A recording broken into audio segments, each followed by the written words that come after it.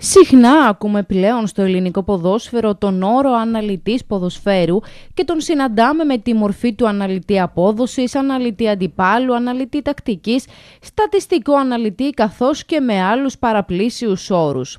Στην κάμερα της Κρήτη TV μίλησε ο απόφοιτος του Ινστιτούτου Αθλητικής Ανάλυσης Μιχάλης Μισαργόπουλος, ο οποίος φέτος βρισκόταν στον Ηρόδοτο και μας ανέλυσε το επάγγελμα. Μιχάλη, είσαι αναλυτής αγώνων, κάτι το οποίο βλέπουμε σπάνια στο, στο ποδόσφαιρο να γίνεται αυτό. Πες μας δύο λόγια για αυτό το επάγγελμα. Είναι αλήθεια, είναι κάτι καινούργιο στην Ελλάδα.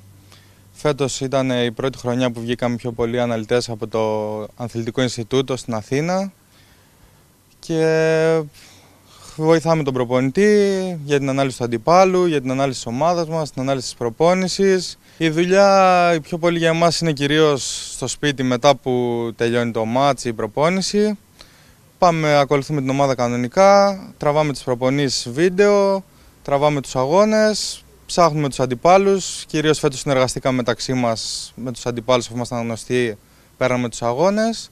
Παράλληλα μας μίλησε και για την σωτηρία της ομάδας του Ηροδότου, όντας μέλος της, αλλά και για το δικό του μέλλον. Ήσουν και μέρος της επιτυχίας να σωθεί ο Ηρόδοτος φέτος μετά από μια χρονιά που δεν ε, ορίστηκε και πολύ καλά για εκείνον.